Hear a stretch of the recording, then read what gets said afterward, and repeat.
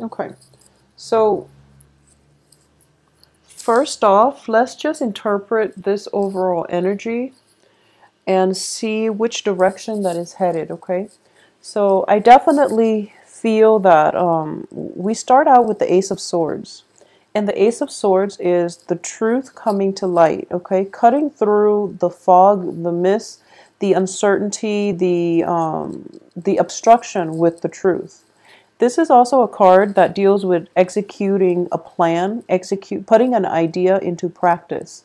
So this is a very, very, very powerful, potent energy, and it might have come through at the end of October, in which revelations, epiphanies, truths, everything that you've been kind of murky about has they're coming to light. And um, a lot of things have been revealed. So this is a card of truths. And this is like you know that that um, light in the darkness where you can't once you know something you can't unknow it so it's one of those things where you know it, it feels to me as if the truth might have ended a conflict, it might have started a conflict, and it might have been, it, it was the harsh truth. It was something that you wish hadn't happened, but you're stronger and better as a result of knowing the truth. So I definitely feel this is something that you're grappling with, you know, for the first few uh, weeks.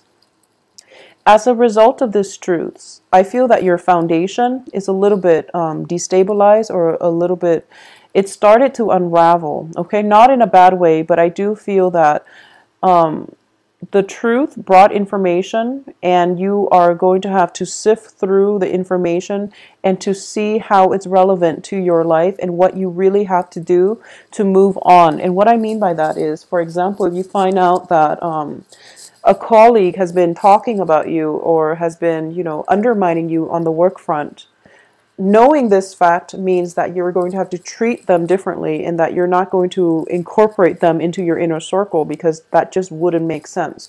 So these are things that you really have to reassess and you have to change your strategy basically based on whatever is being revealed, whatever came to light, you have to change your strategy. As a result of it, what I mean is that your foundation started to unravel so it's like um, a minor procedure. So once something, you know, if there's a crack, then you do have to refortify that foundation. And I feel like that's what you're ha- do- you're having to do. And for a lot of you, it might be damage control. So, for example, if you w- were in a relationship and um, the relationship was like very unbalanced, and you start to see, you know, since the end of October, early into November, that the other person that you're in a relationship with is it's a, a very good person and they care about you a great deal, for example. Um, I do feel that you're going to have to once again repair that foundation. If you were in a relationship with someone or they're in a relationship with you and there was like um, one person is constantly running to the other person when they're in need of something. So it's you know it's like very one-sided. It's very unbalanced, and um, you're. I feel that a lot of you might be tired of it, and you're deciding you know to walk away. I feel that if that is you, you're in a very unbalanced relationship, and you're starting to think about walking away the other person that you're involved with is coming to this realization, this sense of truth, where they realize that they have taken you for granted in the past and they're trying to rebuild that foundation with you. So don't be too premature to walk away. I do feel they have good intentions and they're coming in here with a proposal of love, of stability, of more of a commitment. So I definitely feel a significant relationship in your life is taking a turn for the better and there's definitely a situation where you both can work at things and um, you know rebuild that the the structural foundation of your relationship okay? But honestly what what i'm sensing is for a lot of you you might be going through a divorce separation some type of severance. The ace of swords usually indicates to me severance such as you know um, severing a relationship severing a love relationship a friendship a work situation cutting out a an ex-boyfriend or even a coworker. So some some type of severance has actually happened by the beginning of this month, and we see you here as the Queen of Pentacles. This can be you, male or female, kind of turning your back away from an offer of love, mainly because despite the person showing up as a king energy where they are very controlled, where they are very um, emotionally stable, your multiple run-ins with this person is enough and you're you're pretty much done. You've you're exhausted and you're not frankly you're not interested anymore. So for a lot of you there might be an offer coming through and you're just walking away from it. So it could be you know a new person but i do feel more often than not it's somebody from your past coming through making an offer and you're not looking their direction okay because you're you're trying to move on. So it could be, you know, a past spouse, uh, an ex spouse, an ex boyfriend, or somebody like that. And you realize that, you know, you were there all along, nursing them back to health. And then as soon as the money situation comes through, then they're they're um, they're off somewhere else. When they don't need you, they're off somewhere else. So you're coming to realize this, and you're going to turn your back on them. All right. Um, I do feel as well. So that's what's happening for you pretty much the first two weeks of the month. I also feel as if there's um we have like four, three. Well, we have three wands energy, and the wands indicates to me in this context it's um our passion or desire, our ambition, drive, and also with the five of wands it is conflict. So it seems to me as if the major, major, major news coming through for most of you, there is a situation where a person is kind of like in a bind, okay? This can be they're physically bound up and they don't know they don't know what to do or it could be, you know, a self-imposed prison where someone is playing victim. Someone is playing victim here. And um they're expecting other people to fight over them. They're expecting other people to play um, to to come rescue them. So there's some. It's almost like a trap, is what I'm sensing. But um, I, I don't want to use that word because it has such a negative connotation. But it's just like somebody is running some kind of test, some kind of simulation, just to see who's going to be there. So I feel like you know all the the, the people in this spread. There are a lot of people all the people in this spread they're they're converging at this main focal point which is somebody is like in a dire situation possibly hurt and then everyone put their life on hold to come to his or her rescue is what i'm sensing. So someone might be doing that to you. Somebody might be telling you you know oh i'm i'm in a jam. Can you help me? just to see if you care about them but i feel like you're turning your back and you're not looking that way and that's perfectly fine because they're more than capable of getting themselves out. They just they're trying to solicit an emotional response from you. So be very careful about past people coming through.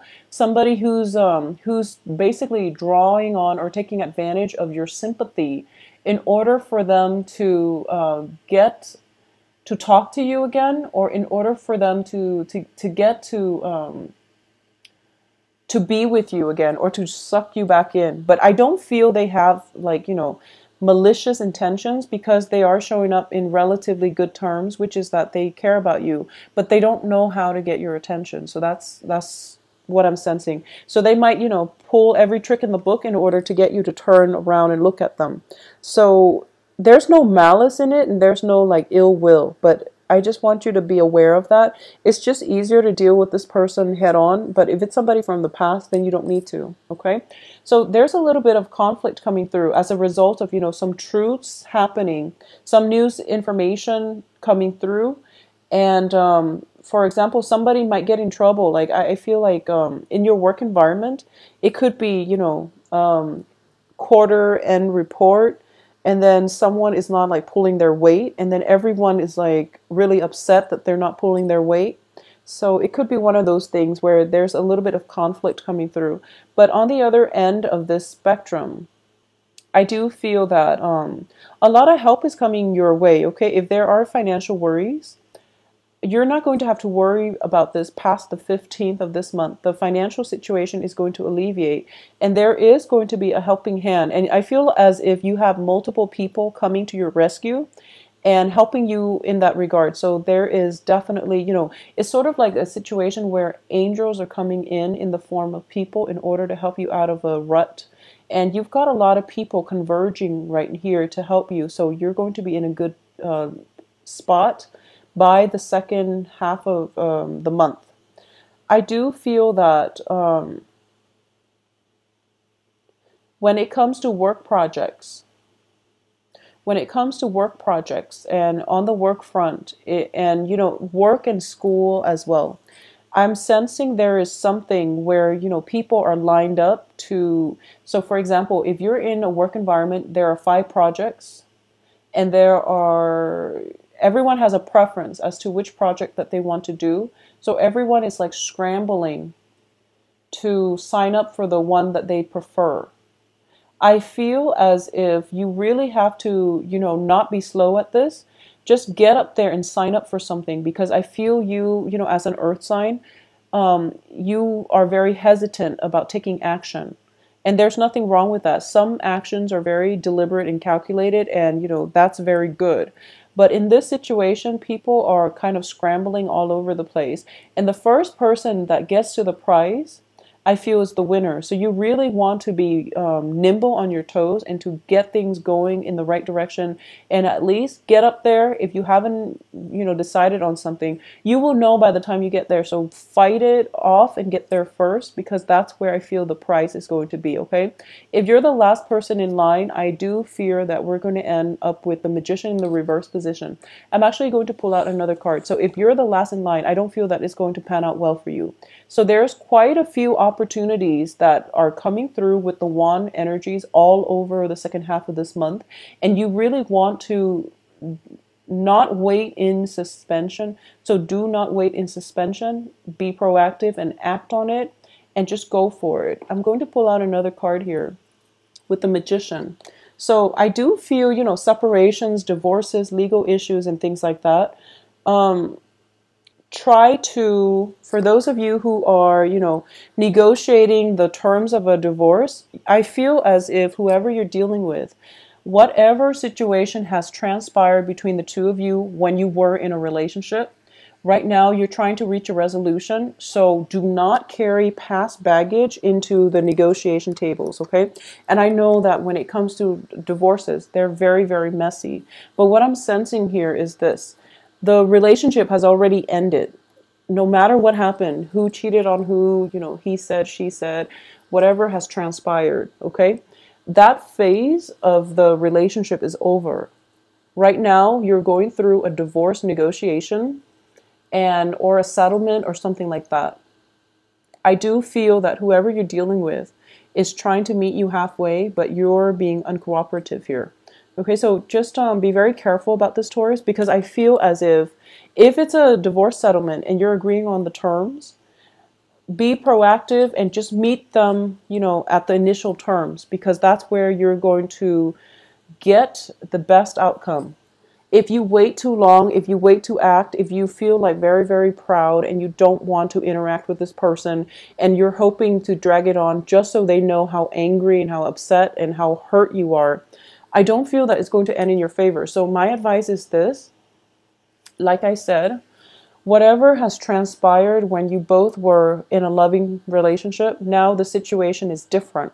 So once both parties have decided they're going to get divorced, the feelings are different. Okay, so you don't have to tell them that um, I'm still upset over, you know, when we were together, when this and that happened that part of your life is over. You have to let it go. So don't hold on to grudges for this uh, month because it is only going to be to your detriment, okay?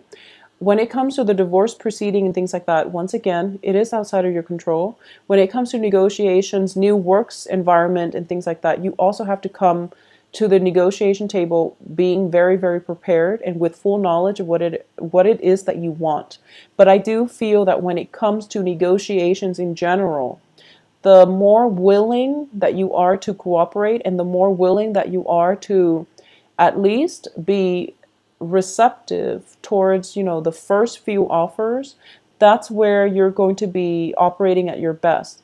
The longer you wait and let it drag on, and um, the more obstinate you are and the more stubborn you are about this, the worse it's going to be because we do have the justice card in the reverse position and we do have people around you wanting to accommodate. Okay, so be um, I guess be a little bit more understanding for this this month. I feel that it's going to go a long way. All right. So turn yourself around in this situation, and things will work out in your favor. Okay, Taurus.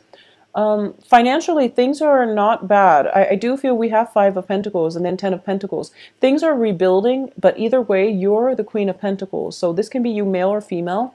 I do feel financially you are going to have plenty. You're you are going to have enough. If somebody is soliciting you for financial help, I do feel it is within your control to help them, whether or not you want to. That is completely up to you, and that is completely contingent upon your past history with them. If they've never, you know, paid you back, there's no need to bother. Okay, but overall, I do feel it is going to be a good month. Um, for those of you who are out there dating, I definitely feel a suitor who's interested in you, but you're not, um, you're showing disinterest, or at least you're showing indifference. And if this is something that you're not aware of, you know, next time somebody comes by your work, your, your cubicle, your office, your environment, just be mindful about that and pay attention in the right direction for those who are looking for love. Additionally, there's definitely a lot of competition for your affection. I love the way this queen shows up. She's so beautiful here. This is like uh, my favorite card in this deck just because she looks so queenly and in control. And um, you know this every time i see this it's also the last card in a row. So i feel as if you're fixated somewhere else rather than you know in the present moment. So aim to be a little bit more in your, in the present moment. You seem a little bit distracted and you're not really focusing on what's happening around you and who you're with and and who you should you know um, who is trying to draw your attention okay so let that go and live in the moment a little bit more and i do feel that there is an opportunity here. The Two of Wands, you see this other hand, but you don't see the other picture. So there is somebody who is very, very close to being your Mr. or Mrs. Right. All it takes is a little bit of reaching out in order to get to know them. And I do feel for a lot of you, you are dealing with uh, water signs. So this can be um, Cancer, Scorpio, um, Pisces, Pisces, um, I'm getting a very strong Piscean, Piscean Scorpio. Well, this is a different deck, but I, I do sense that there's a water sign that is trying to grab your attention. And for the second half of this week, that's when your focus is going to turn towards them. So I do feel, you know, it, you can save yourself a lot of trouble by focusing on them within the first two weeks. All right.